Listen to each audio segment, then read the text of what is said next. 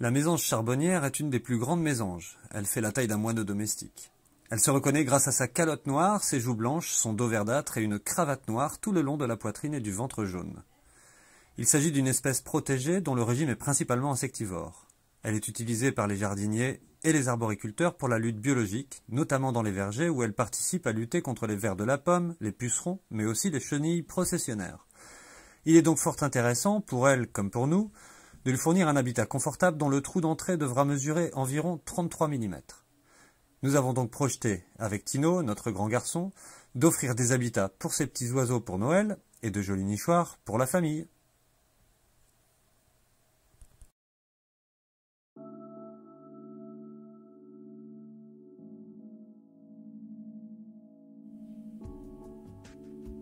Alors tout d'abord les plans qui sont très faciles à trouver sur internet et les outils dont vous aurez besoin pour réaliser ces cabanes.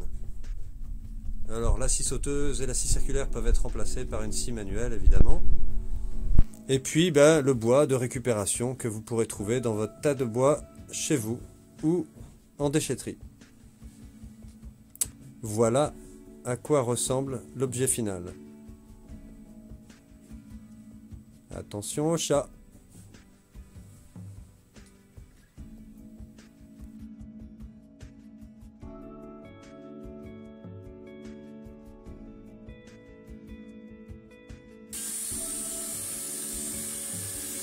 Alors l'objectif que nous nous étions fixés avec Tino, c'était de faire trois cabanes pour les cadeaux de Noël de cette année.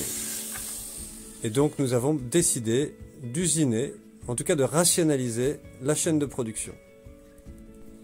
Donc ici, avec Tino, nous préparons les pièces une à une pour les trois cabanes.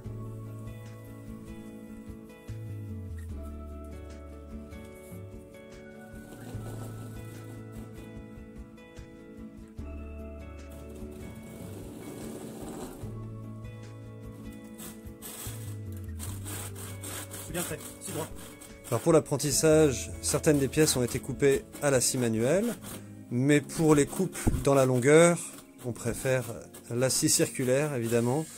Et puis pour les petites coupes dans la largeur, on a utilisé la scie sauteuse ensuite.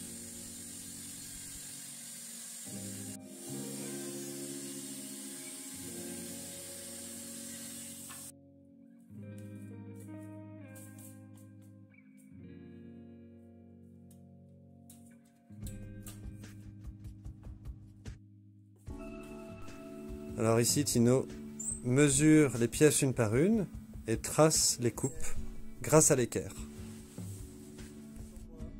Pour en fait tracer des traits bien droits, mais aussi bien perpendiculaires au bord de la planche.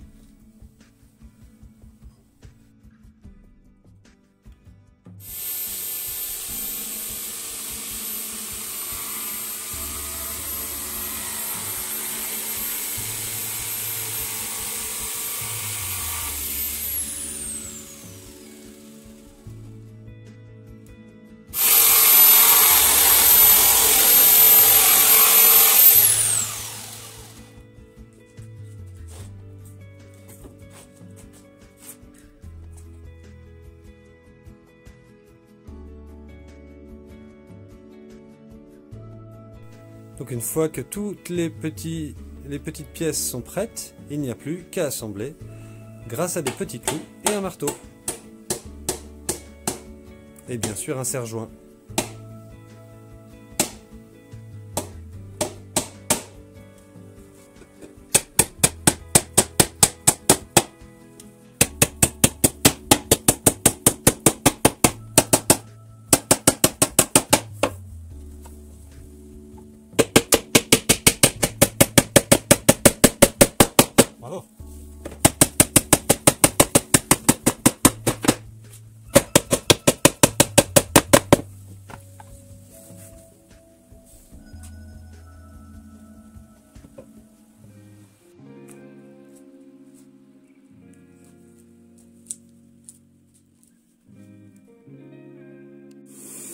On fait le petit trou d'entrée à l'aide d'une cycloche de 32 mm.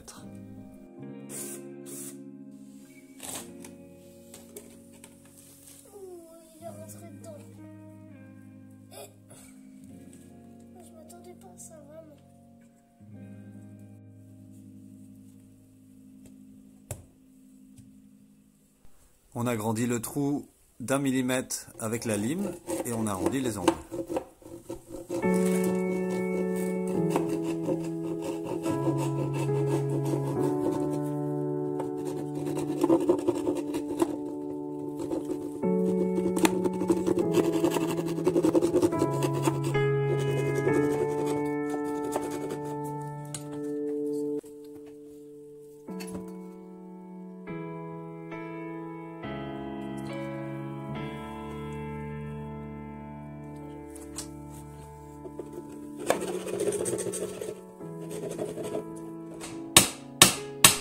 Peut enfin ajouter le toit à notre petit nichoir.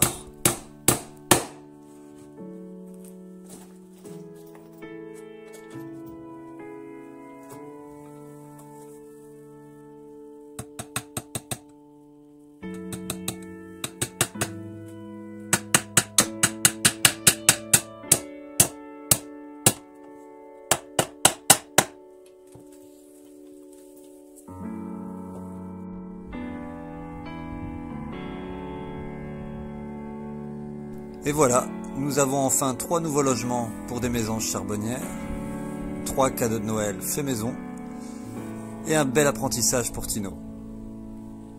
Et nous vous souhaitons de joyeuses fêtes de fin d'année.